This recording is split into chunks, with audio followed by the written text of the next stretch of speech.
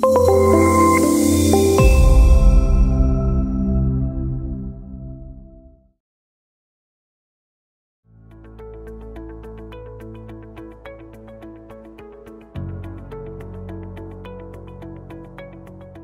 you know you can update Confluence pages with Jira data using automated release notes app?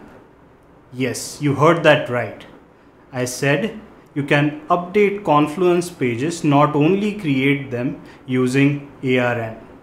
In today's video, I'm going to demonstrate to you how you can achieve that with a few easy to follow steps. Let's begin. For this, I've created a new Confluence template called running release notes tabular. I'll show you the template configuration. Let it load fully and you'll notice I'm calling it running release notes tabular and it has the following page content which is the JQL section followed by two stats sections and static text. Now let me show you the content of the JQL section. What we are doing is, now we have this JQL that's already there. Title is stylized a bit. Then you have certain fields selected and then you have the table layout selected.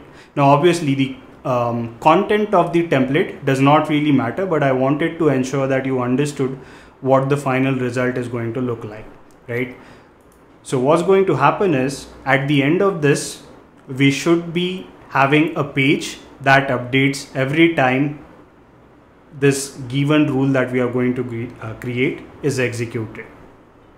Now uh, the reason I made this template tabular and not sequential is we already have a running release notes page that's accessible from our public documentation. You'll see this page exists for quite some time now and it has release notes right from 10th of August 2020. So every time there is a new release of the cloud version of ARN, the corresponding release notes are added on top of this page, right? So we are going to achieve something similar in this video, right? So we now have created a template we are good here now we are going to create a rule right so let's click on create I'll call this update confluence page. I'll keep the trigger to manual for the sake of this discussion. Obviously if you had some other automation ideas you can just come in and change the trigger. Now choose the add confluence action. Choose the template that you need for this right? So like I showed you, I'm going to choose running release notes tabular template. Confluence instance, you can connect up to three. I have created a separate video how to integrate that. We'll just choose one instance called Confluence. Now you have to choose the space key, right? So what we are going to do is, we'll, we can obviously find the space key here in the URL, but before doing that, let's create the page which needs to be updated. Obviously, you do have the um, create or update action available. So let me just go back and show you the available actions. You'll notice what type of page actions do you want to do. So there is create new, then there is create new or update if exists, and then you have append to existing page or prepend to existing page. As part of this video, we are going to look at append to existing page and prepend to existing page, right? So let's create a new page for this specific purpose. Let it load. I have slow internet connectivity today. I hope that doesn't really, um, you know, impact the video. So let's call it Confluence Update Demo, right? I'll just publish the page right away now I'll go back and I'll click on choose space. So here I'll look for automated release notes. Apparently okay now it worked. Automated release notes documentation ARN came up automatically. Now we are going to use page not blog and instead of create new we want to have maybe let's say append to an existing page right here we are supposed to choose the page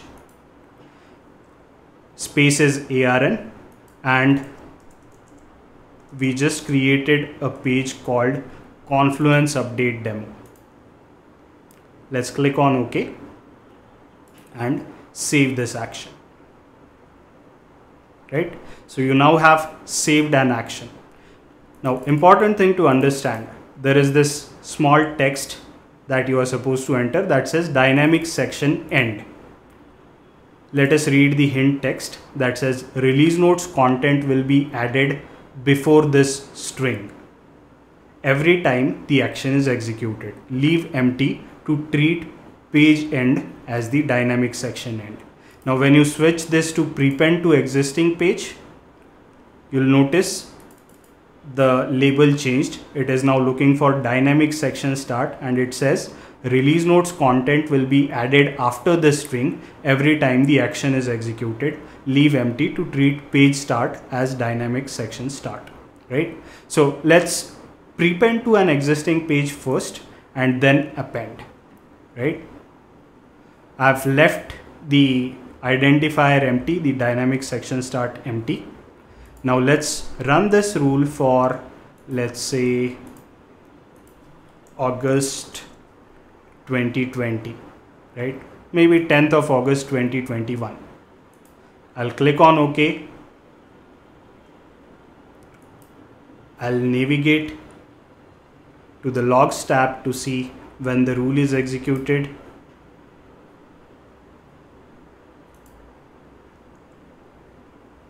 it usually takes a minute or two for the entry to be available in the logs.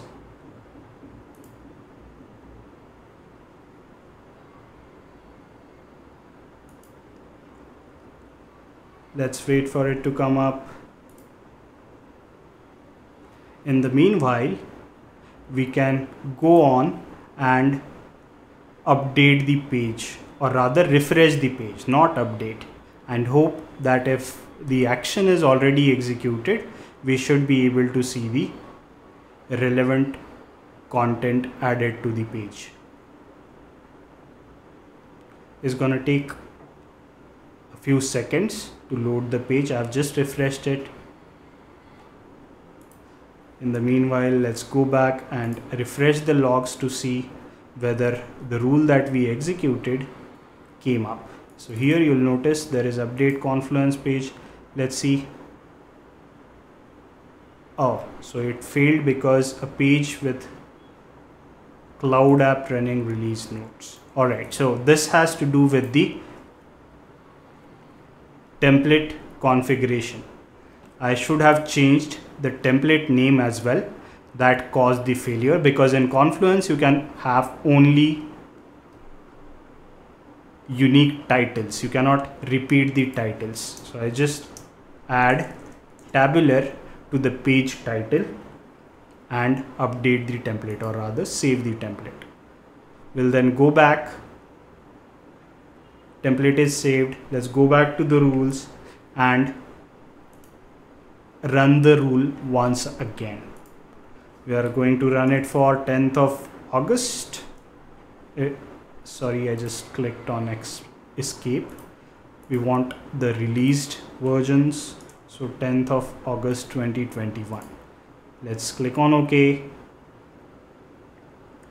I hope this time around the rule gets executed successfully. We'll go back to the logs once again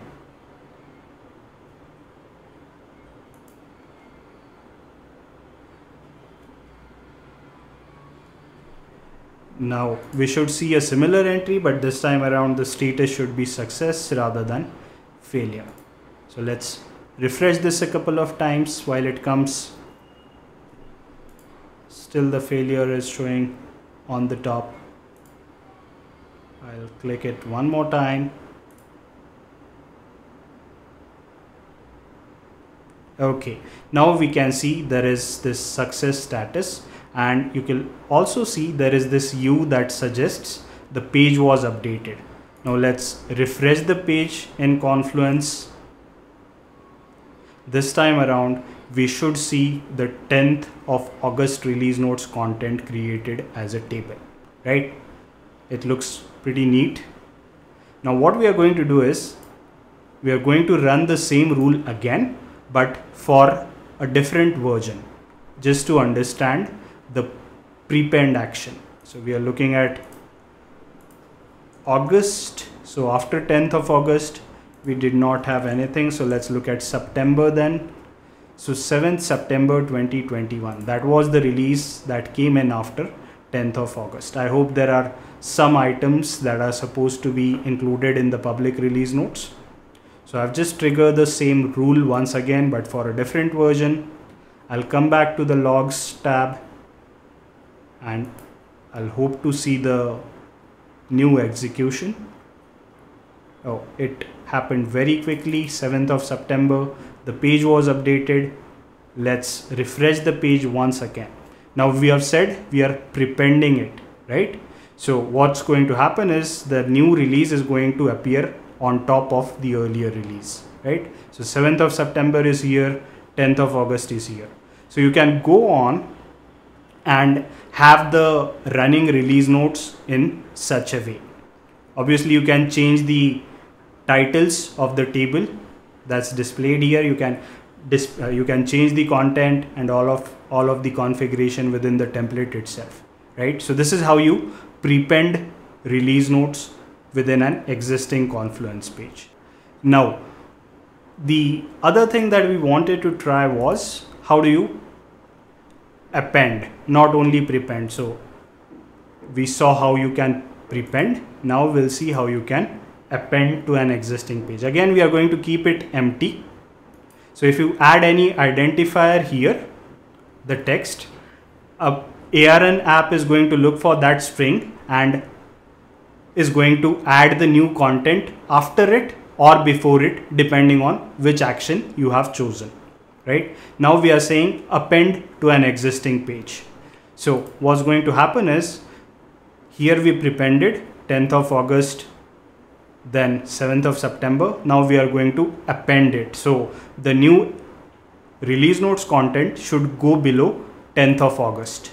So let's go in and execute this rule for a different version that was there for September 2021. So after 7th of September, there was 27th of September 2021. So I'm going to execute the rule. I'm going to go back to the logs tab and just hit refresh a couple of times in there so that the new entry appears on the logs page.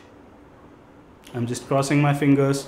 The new entry has appeared 27th of September. Status is success. The page is updated. Let's go back to Confluence, refresh the page and let's see. You'll notice new version published. Message automatically appeared. I'm just hoping the action went through smoothly. Right. So you'll notice 27th of September 21 appeared after 10th of August right? So in this video, we have seen how you can prepend to an existing Confluence page or append to an existing Confluence page, right? So the playground is yours. You can create the templates, you can create the rules and utilize the unique integration between Jira and Confluence for updating Confluence pages with Jira, Jira data using automated release notes app for Jira. Hope that was helpful. Thank you very much.